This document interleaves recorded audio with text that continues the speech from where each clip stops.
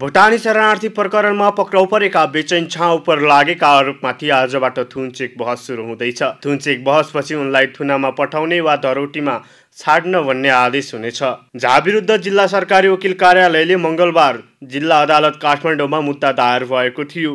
प्रहरीले तयार पारेको रायसहितको अनुसन्धान प्रतिवेदनका आधारमा झा विरुद्ध जिल्ला अदालत काठमाडौँमा ठगी र सङ्गठित अपराधको कसुरमा मुद्दा दर्ता भएको थियो। अदालतमा दायर अभियोग पत्रमा समावेश झाको बयानमा उनले नक्कली भुटानी शरणार्थी प्रकरणबारे आफूलाई थाहै नभएको जिकिर गरेका छन्।